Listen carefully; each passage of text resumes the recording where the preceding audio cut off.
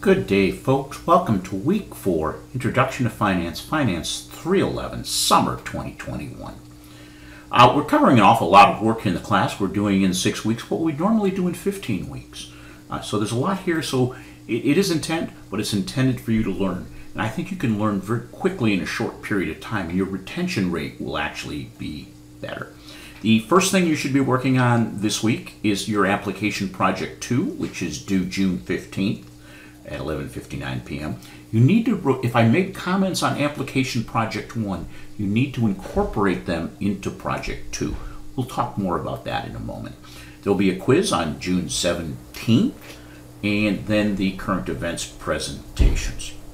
So that's what you should be working on. Application project 2 uh, again, if I made comments on project one, you need to address them.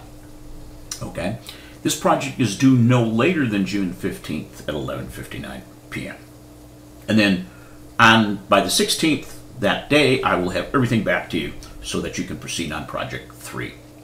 Uh, project 1 is the starting point for project 2 and you need to incorporate project 1 into it. That doesn't mean just add them on but to integrate them. How does it flow? You're telling a story. Watch the video before starting. Um, it's worth 18% of your grade, so make sure you give it that level of attention. Um, it's will take 10 to 15 hours to complete. Again, I suggest that you take an hour, look at the 10K, 10Q investor to see what they cover. What do they talk about? It, it, it's all there for you to do. Um, you need to complete module 3 and 4 prior, prior to starting project 2. So if we're looking at this on a sequence, you should have already done module 3 and 4. Uh, when you're doing it, avoid definitions. Think about it from the business perspective. What is it telling us? Okay, don't be specific. Don't speculate. I think this might be a cause. No, no, answer the question. Your answer should not be a question. Read what you write and say, am I asking a, making a statement or am I really asking a question? Think about cause and effect. Think about different lines. So if something happened, what was the impact of that? What was the cause and effect? So if expenses went up this year, did expenses go up because additional health and safety protocols for COVID 19? Okay? Or did they go up because of supply chain shortages? So be specific. You should comment on specific lines you can't comment on net income alone because it's a function of income, co- revenues, cost of goods sold, which produces the margin. So you can't talk about the gross margin until you talk about income, revenue, and cost of goods sold. Um, everything you need is in the 10K, 10Q, infographics, and investor presentation. Take an hour and read. If you keep coming back to the business side of things, I think you're going to find it much more uh, effective. Quiz 2, uh, you must start the quiz by June 17th at 11.59. Once you start, you need to finish. It's going to be count for 15 points, 15% of your grade. Um, it's going to cover modules 2, 3, and 4.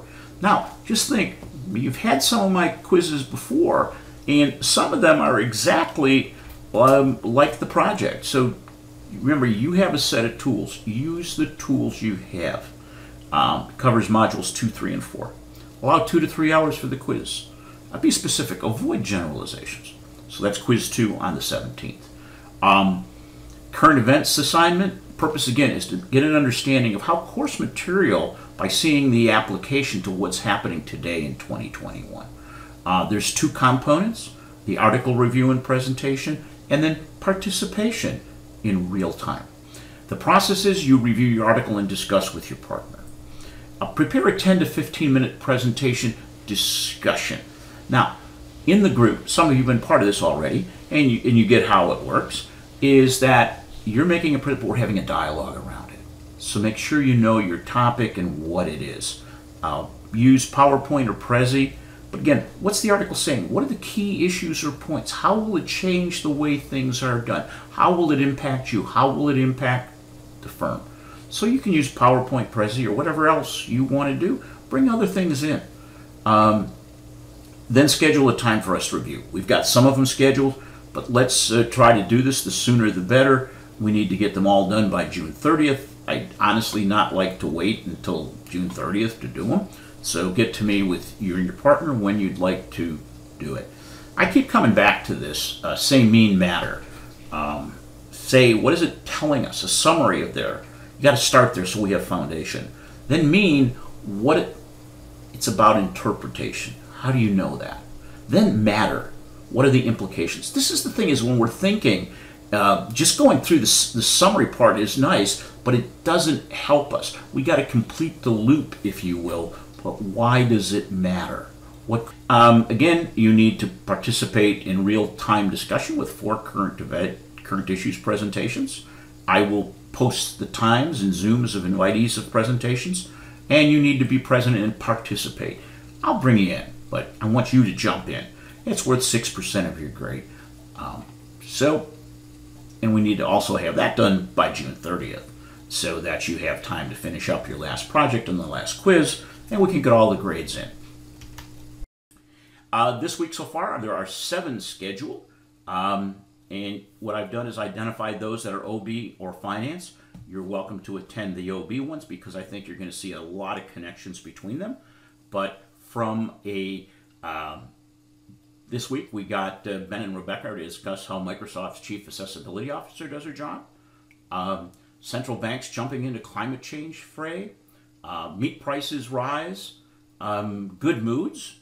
ESG bonds. Um, requiring vaccines in the workforce, an interesting topic. And then rising wages. And you click here to join the event. Um, so that's the key thing. Uh, just to share, uh, we had a couple of presentations last week, and one of them um, was about taking breaks.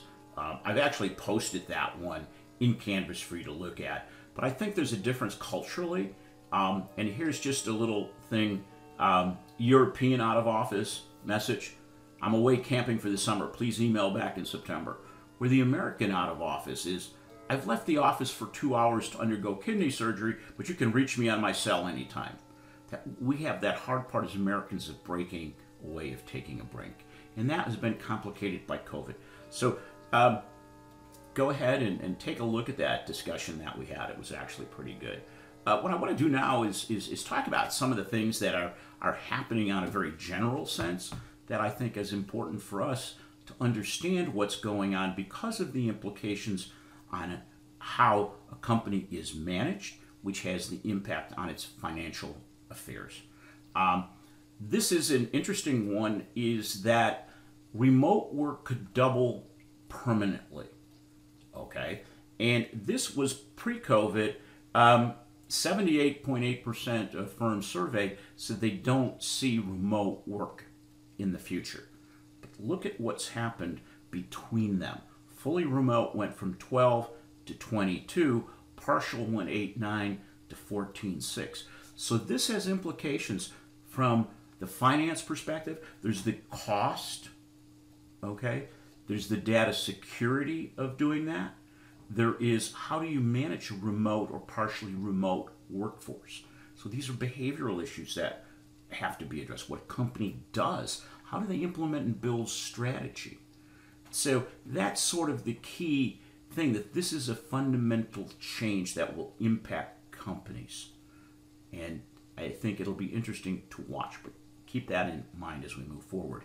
Uh, we also had the consumer price index came out um, a day or so ago, and what we've seen is that on a year-on-year, we've seen an increase of five percent in cost, the CPI overall. Now, when we go back and look at it, we can see it wasn't as high as it was back in 2008, but it dropped way back down. But we're looking at 5%. Now, that's a pretty big increase. The Fed's goal is 2%. But they're letting the economy run at 5%.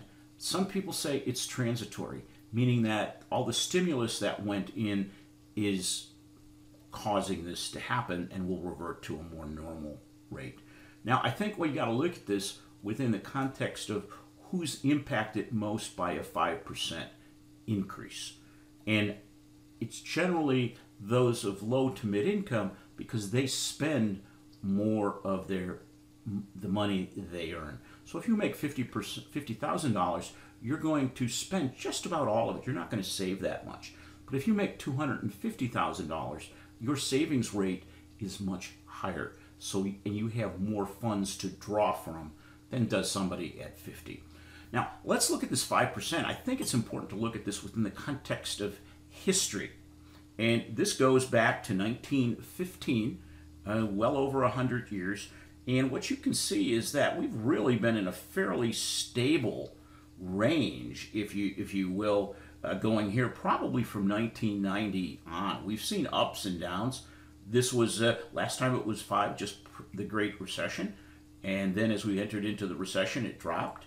Um, same thing here as the economy slowed, and this was COVID, and now we're recovering from that. But if you go back and you see, we've had times um, back in 1979 where we had 15% inflation. We were getting 10% raises back then. Um, you know, that sounded like an awful lot of, you know, whoa, things were going real crazy. But this is when you see the history right after, you know, in the in the 20s, the Roaring 20s, we were looking at 24% inflation. So this is um, whenever they see these bars, right? This is recession. So what you have tended to see is in a recession we drop off and we have deflation and not inflation. Um, and the question then becomes what drives what? Does the level of inflation get so high that it has to drop back down? And that's what we've seen here. We've seen it here, here, here, especially here. So this is just to keep it within the historical context. So it's pretty stable, and what everybody will be looking for is that. So that's inflation. So we talked about the change due to COVID and remote work. We talked about inflation. Let's now go back and look at people. And since 2010, the um, num- raw number of the population between 25 and 54 years old has remained the same. But if we go back to 1970, it was growing every year, which means that there was a market for jobs.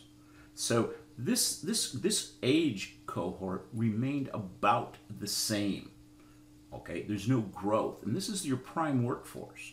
So it's hard to grow an economy when you don't have the volume of workers.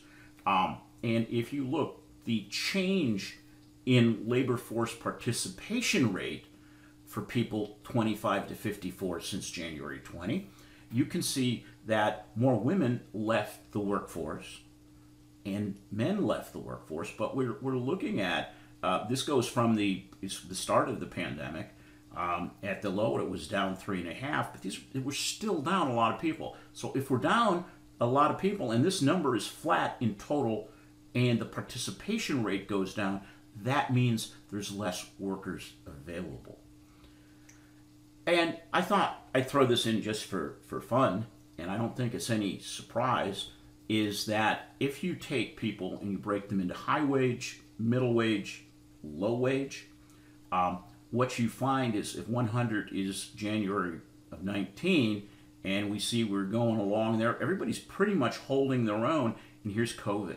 But those in the low income have dropped off much more so than those in middle wage and high wage earners at 98%.